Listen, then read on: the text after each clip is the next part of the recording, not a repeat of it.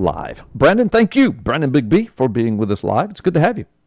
Hey, it's always good to be here. I appreciate it. Well, listen, I know that uh, I, I want you to catch folks up on the Seth Rich death case and just assume that our listeners now a lot of our listeners know a lot about this but uh, there are some that won't really know. If we just start talking about Seth Rich they won't have a clue who we're talking about. But this is huge. This could be history changing narrative changing uh, earth shattering in the US government and even in international affairs. This could be huge. But give our folks a synopsis a brief history how, what it was all about how it began who this dude is why his name name's important.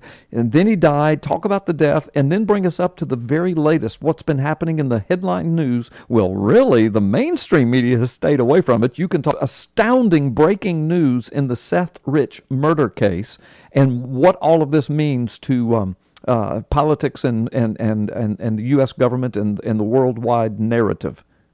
Yeah. Well, Seth Rich was a he was a DNC staffer who was murdered uh, during the campaign cycle, and it was during the time that the WikiLeaks was getting into the hottest and heaviest, if you will, uh, when Assange was threatening that he was going to drop information that would change the course of U.S. history. Uh, you know, we have to remember Assange said that if Hillary Clinton won the uh, election, that he was going to release things that he would not release if Donald Trump won the election. Right. So if Assange is telling the truth, he still holds no telling what kind of information. Right. You know, we we don't know. So, and and then of course Seth Seth Rich was murdered uh, just literally within hours of his murder.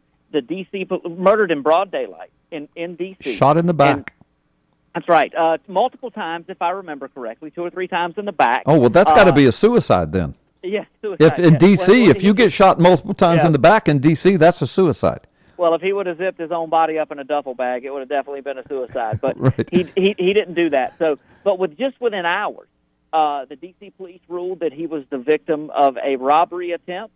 Uh, although within a day or so, we find out that absolutely nothing was missing off of his person right.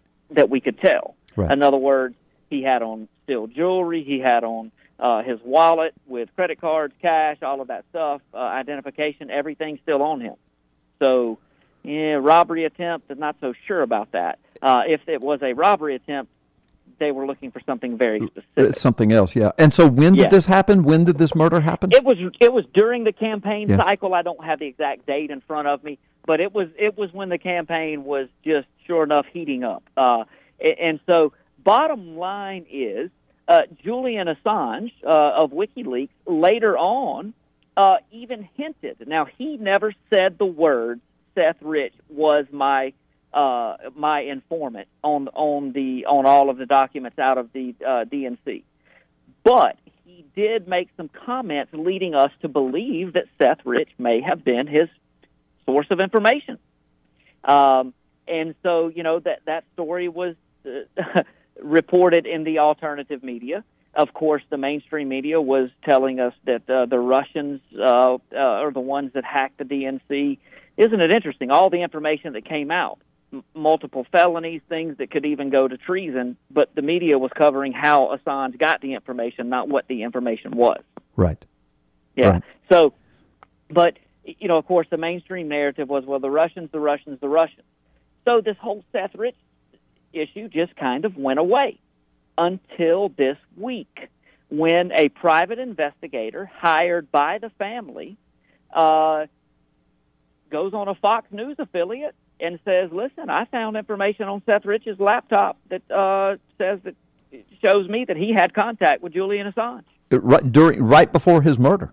Yes, right before his murder, which is what Assange was saying. At. Yeah. Yes, yes. So now, now, of course, that story was not picked up widely and run with in the mainstream media. Of course. And I, a, good, a good friend of mine called me that day and he said, What do you make of this? I said, If this story sticks, it changes the course of history. All right, explain, explain that. Yeah. It does away with the Russian narrative.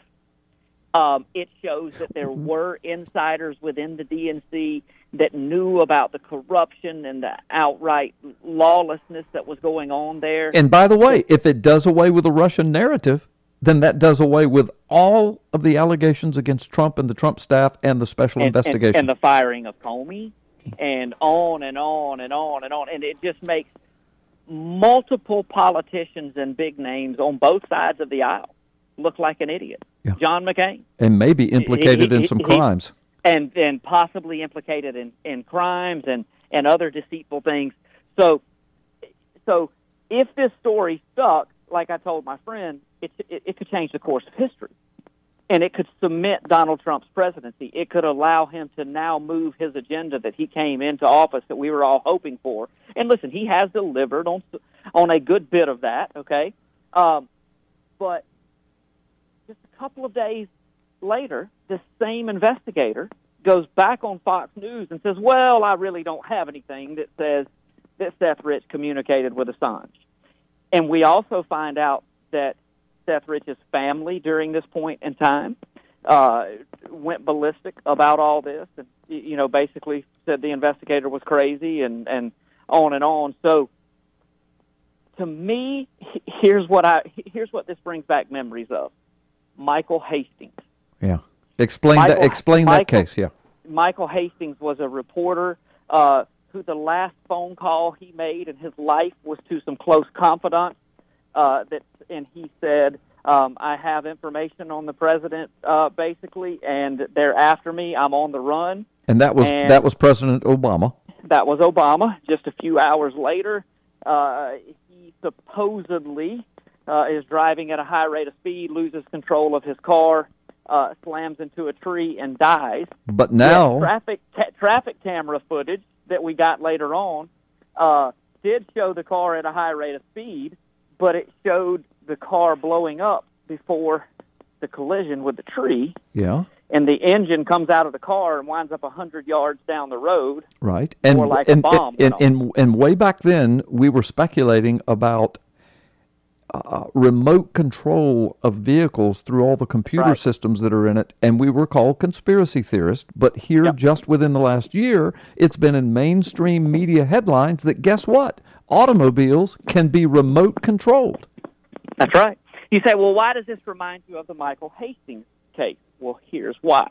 Because immediately after Hastings died, his wife was all over national news saying things like, and I'm paraphrasing, I don't have quotes, but she was on national news saying, My husband was murdered. There's no way he would do this. He was a safe person. He wasn't this careless. Days later, one or two days later, she was back on the news saying, "Oh, this was a horrible accident. You know, my, I, I was mistaken. My husband wasn't murdered." Uh-huh. And close friends of the family came out and said she had visits from men in black suits, uh-huh. basically, uh-huh. and was told to shut up. Uh-huh. So you're this suspecting Seth, that some... Seth Rich this Seth Rich case think to high heaven of a private investigator who found some information, went on the news, said what he found, and got visits from people that said, "Shut your mouth." Right.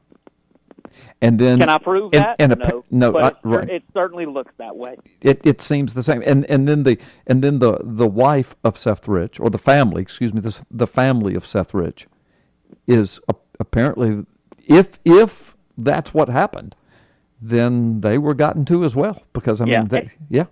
That's right. And think about it. You know, private investigator just doing his job. Right. And he reveals what he may not even realize is history altering information. Right, or maybe right. he thinks he's getting ready to be a national hero. Right. So You know? so did the private investigator retract his story as well? Yes. See, that's what stinks to high heaven to me. That's I mean because this private investigator, he's probably in his 50s or 60s. I mean, he's probably not 20 years Rod old. Rod Wheeler. Rod Wheeler. Okay. the gentleman's name. Okay. Yeah. And so so he's got Seth Rich's laptop. He's been doing this deep investigation for over a year now. And so he finds something. He's excited about what he finds. He thinks he's blown the case wide open. He's he's got it and he goes on a Fox News affiliate and and makes this announcement. And don't you know that the power brokers of the world, this globalist re- communist regime, this this DNC, the I, I mean whoever all is involved in this, they heard that and they just about went out of their minds. And then somebody picked up a phone and called somebody else and said, "This guy needs a visit now. Fix this. The family needs a visit now. fix this, make it go away, make it go away, because right. this we've got investigations going on. Trump we we've got a possibility of impeaching him. They think in their demented minds they're going to take the White House back over. Everything seems in their demented minds to be going their way and along comes this private investigator who could change the entire narrative. And within days he and the family are retracting everything. Uh, you know yeah. I, I was mistaken and the family saying yeah the investigator's an idiot. Really Really? Yeah. You've you've hired him and you've kept him all this time and he wasn't an idiot until he gets a visit, then he's an idiot. Right. Well, listen, I know we've got to take a break, but you said the word impeachment. Let, us talk about how those two maybe tie together on the other side of the break. Okay, let's do. We are going to take a break right now, folks. I, this is why you listen to Freedom Friday, right? Now, Brandon and I are just speculating. We're delivering a lot of facts because the things we're talking about are in the news, and this is going on right now.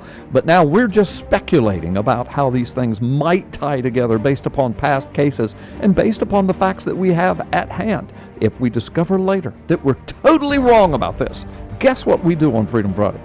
We will make it right. All right? In the meantime, aren't you glad you're in the Oval Office of Gulf Coast Talk Radio? Don't go anywhere. We'll be right back.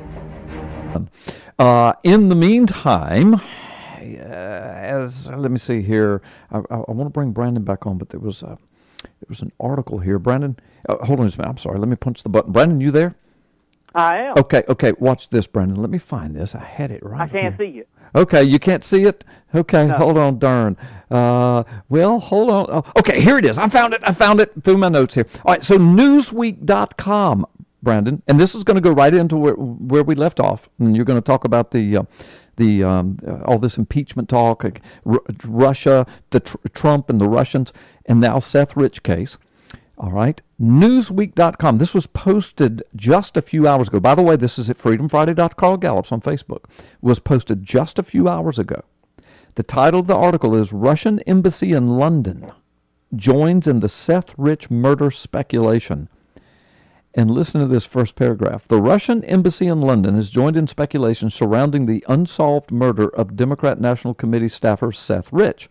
On Friday, of course that's today, the embassy tweeted an image featuring Rich with Hillary Clinton in the background. And the text said, Who killed Seth Rich? and then it says, the tweet also says that WikiLeaks informer Seth Rich murdered in the U.S., but the mainstream media was so busy accusing Russian hackers to even take notice. Yeah. Or maybe they noticed and they just couldn't talk about it. They couldn't talk about it. It ruins maybe the narrative. It yeah, ruins the narrative and ruins the whole plan. And so now, and I, let's just catch everybody back up. So now, just in the last couple of days, the investigator that had been hired by the family, who had Seth Rich's laptop and was investigating this case and interviewing people, just a few days ago, he went on a Fox News affiliate news program and announced that he had discovered on Seth Rich's laptop information which connected him to WikiLeaks information dumping just before he was murdered. And as a matter of fact, he was drawing the parallel conclusion that, of course, Seth Rich was involved in WikiLeaks, and this was a murder that occurred, more than likely tied to that. And within a day or two, the family that hired the investigator came out discrediting all of that, and the investigator then came out changing his mind about what he had said on the news just the day before. You and I smell a huge rat in all of that. And every time we've announced that we've smelled rats in cases like this over the last years, Brandon, every single time we've been proven correct. Maybe not in every detail we speculated upon, but in, in the general direction of what we were speculating. And right now, you're speculating that all of this stinks to high heaven because if it is linked that Seth Rich was a DNC staffer who was involved in WikiLeaks, it takes the Russians out of it, which ruins the whole narrative against Trump. Now take it from there. That's exactly right. And so, you know, I said what I, what I wanted to try to tie together here was the impeachment talk of Trump and and this Seth Rich story uh, making it into the news this week and how the two may be connected. Because listen, since the day Donald Trump was elected, we have heard talks of impeachment from both political parties, yeah. both Democrat and Republican. Yeah. Think about that now. since the day of the election, we have heard talks of impeachment. Yes. Well, just this week, after this information uh, regarding Seth Rich's laptop came out, we have seen prominent Democrats completely reverse direction on impeachment. Now, hear me. They're not in love with Donald Trump. okay. Right. So But so so have- something else is going on. Like yes, we have heard people like Nancy Pelosi hmm all of a sudden advocating for no impeachment. Well, I don't think that we're ready to do that. I don't think that we have the information to do that. hmm Now, I will guarantee you a month ago, Nancy Pelosi was leading the impeachment bandwagon. Oh, the sure. day after the election, Sure. Nancy Pelosi was leading the impeachment bandwagon.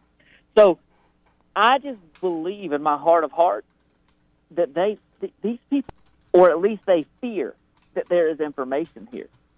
And so if you're on this impeachment bandwagon and Trump, like he has so famously done, finds a way to force this information out into the public arena and to prove this to be correct. Now, to my knowledge, Trump has not addressed this yet. Right.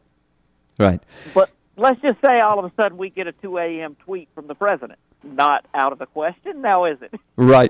Not out of the question let's, now. Let's say we get a 2 a.m. retweet. We, re- Retweet. That's hard to say. Oh, we tweet. retweet. uh, uh, retweet from the president of the Russian embassy tweet.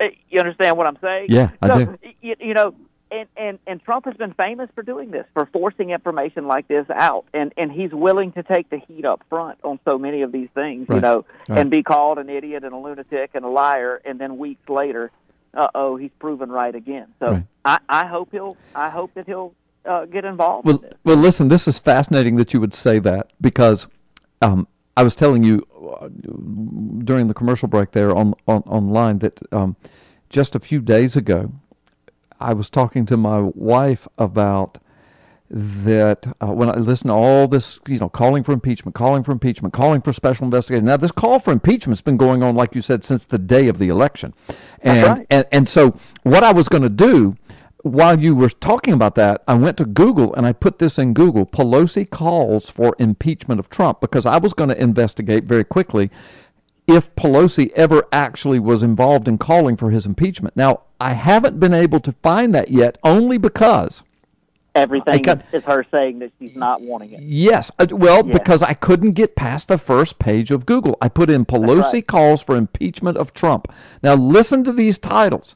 All right, here we go. This is from Washington Examiner, Washington Times, RedState.com, Breitbart.com, The Blaze, Free Beacon, Politico, CNN. All right, so just folks, so you'll know, I'm going to read these headlines. Listen to the headlines to back up what Brandon's saying. You just put in, in Google right now, Pelosi calls for impeachment of Trump. Now, again, I'm going to go through the pages and see if I can go back far enough to see if she actually did. But here's what it said.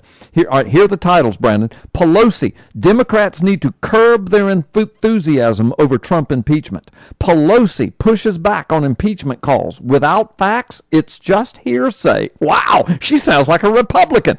Nancy Pelosi, here's another one. Nancy Pelosi warns Democrats pushing impeachment that they're, and then you have to read the article. So he's, she's warning Democrats, don't do that, don't do that. Uh, here's one. Nancy Pelosi speaks out on Trump impeachment, and you probably won't believe where she's standing. Here's another one. Nancy Pelosi, Adam Schiff cite need to gather facts before impeachment proceedings. Nancy Pelosi, we can't impeach Trump just because we dislike him. Wow. Here's another one. And that was the blaze. Pelosi on calls for Trump's impeachment. Quote, I don't subscribe to that. End quote. and then and then Politico, May the 12th, that's a week ago, Democrats escalate talk of Trump's impeachment. And then the article right under it, CNN. But Pelosi doesn't subscribe to the Trump impeachment plan. So, wow. I mean, the media is really on board with this. So, so you go ahead and, and give us your take on that. And I'm going to keep looking uh, uh, to see if I can find anything where she actually did call for impeachment. Yeah, and, and, and so you know the point being, I just find it interesting that all of a sudden you've got Nancy Pelosi of all people saying, "Well, let's not talk about impeachment." And I mean, this woman is famous for saying things off the rails. Yeah, I- yeah. You know, I mean, she's not uh, doesn't appear to be the most stable person that we have in government. Let's just say. Right. Um, and, so now all of a sudden she's talking common sense. Some, something just doesn't feel right about that. And you know, think. Listen, po- politics are so dirty, so warped, and so crooked. There could have already been a deal made, a backroom deal made. Right. Listen, we'll we'll cut the impeachment talks, but please do not bring up the Seth. Let, let's kill the Seth Rich issue. Right. You, you, you, and I'm not saying that Donald Trump himself would make that deal, but I think people around him would. Right. Right. I right. think people around him would make that deal in a heartbeat. And uh, again, we don't know. We, we're not sitting here saying that this has happened, um, but this whole thing just absolutely reeks. Uh, it, it, it, it feels like times past. Uh, like I've already made the comparison with the Michael Hastings incident. How many times do we see this where immediately when something uh, happens, then you know days later, weeks later, months later, the real truth comes out. Right. And it looks like we may be on the verge of getting some real truth about Seth Rich. I hope that that's the case. Right. Uh, because again, we have zero evidence has been offered to the American people that Donald Trump or any of his administration colluded with Russia. Right. Zero evidence. So far, zero. Now, uh, now, As a now, matter of fact, the most evidence points to Seth Rich giving information to Julian Assange. Yeah. Julian Assange has has hinted that that's what happened. Yeah. Uh, an investigator says he has found information on a laptop that says that's what happened. Uh, you have a man supposedly murdered in a robbery with over two thousand dollars of goods left on him, nothing taken Right. that, that was apparent. Right. So either they got exactly what they were looking for, or they weren't there to take anything other than a life. Right, right, right. Well, Brandon, we're going to have to take a time out, and then we've got stuff to talk about on the other side. But before we do, I had to go nine pages into Google before I found everything else is all about how sparkling Nancy Pelosi is, and and she just you know can't imagine uh, impeaching Trump. It took nine pages before I got to some articles in February of 2017. This would have been just right after his um, inauguration. Headline uh, from the NTK network and from uh, Reddit.com. Two two headlines. Nancy Pelosi. We are looking for grounds to impeach President Trump. There you go. Here's another one. There you go. Pelosi calls for probe of possible Russian blackmail of Trump. And then looking at the, the, the underneath it on, on Google, it says, it, says it, it speaks about impeaching, possibility of impeaching Trump. So if I kept digging, I'm sure I could find them. But she has changed her tune, and Google is helping her out because you have to fi- you have to go through nine pages because the first nine pages makes Nancy Pelosi looks like a Republican right now. right, right. And and the timing of this just all sinks to high heaven. Yeah, it really, really does. Seth Rich, family and investigator, changed their tune instantly because if they went the other way with it, and I'm not saying this is why they changed their tune. I'm, we're just saying, Brandon and I are saying that if it went the other way, it would have changed the course of history, the entire DNC narrative, and the entire impeach Trump campaign. Unbelievable Yep. times in which we're living. Yep. Thank you, Big B. All right, folks, we're going to take a time out. We're going to do this quickly because we want to come back. Brandon and I have some stuff to talk about prophecy and where all of this is tied into scriptural principles and, and some other things too. So don't go anywhere. We'll be right back in just a moment. Freedom Friday, Carl Gallups. Okay, Brandon Big B, listen, uh, thanks for being on the show today. And we've only got, I don't know, six or seven minutes left. But, you know, of course, you heard the whole show. And, and, and we started off talking about North Korea in the news, NBC News headlines today. North Korea has finally launched a missile that they said, quote, really works. And it everything worked about it, everything. And they claim it is a medium long range ballistic rocket that can carry, quote, a heavy nuclear warhead, which is what they've been warning. Now we just found out last week that they are in they are in cahoots now with and in alignment with Iran and their nuclear program and they're assisting each other. But we know that Russia is tied deeply to Iran and their nuclear program. We know that Obama has propped it all up with the Iranian nuclear deal.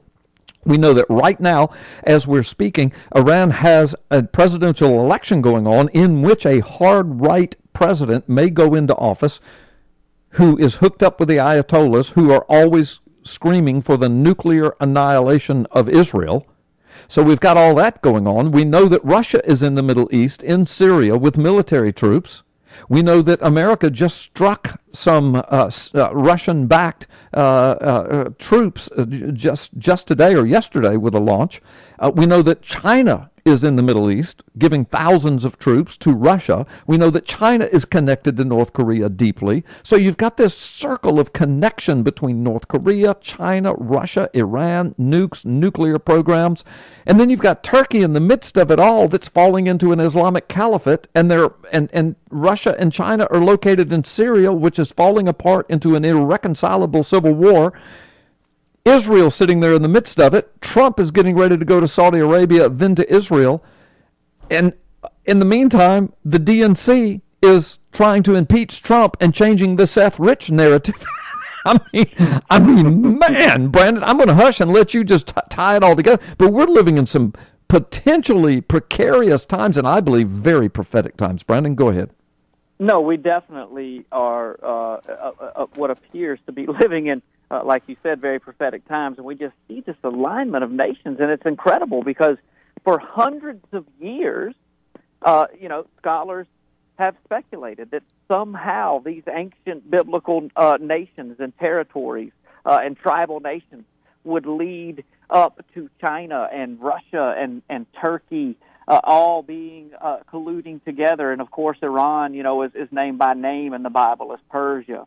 Uh, and then these northern African nations, uh, Ethiopia, which is represented as Kush, and uh, you know, in the land of Put, which China now has yeah. a naval naval base and their only military installation not on Chinese soil, uh, uh just opened in the last 16, 18 months, and so we're seeing all of these things happen. And not only are we watching them happen, but I think this is well, there's two things that makes them very interesting. Number one is the speed at which they're happening it, it, it this is not developing anymore. Uh, you know, well, it may be 10 years from now before this happens. No, this stuff could happen tomorrow. Uh, so we're seeing this happen at breakneck speed. And then also, um, it's the fact that, and we talk about this with biblical prophecy, what makes something prophetic? That it is unprecedented. Right. It has never happened before. We have never seen this before. We have never seen this on this scale before. Well, we have never seen this before. we have uh-huh. never seen all of these nations in the Middle East doing business at one time, and on top of that, doing business together. Yeah. At one time, never, ne- never have we seen this before. It is unprecedented. And then again, if, like I say, if you factor in the speed at which this is happening, absolutely incredible folks, just keep your eyes on Jesus, be in the Word, man. Pay attention to what's going on. Read the Bible in one hand and and read your news, watch your news, whatever you do in the other, and just keep a watchful eye out yeah. and be the salt and the light, and with a sense of urgency. Thank you. That's a good word, Brandon. That's a good word, Brandon Big B. We'll see you next week, and folks, we're on our way out of here. Boy, these two hours flew by. At least they did for me. I hope they did for you too. I hope it was that interesting and informative, and that's why you listen to Freedom Friday.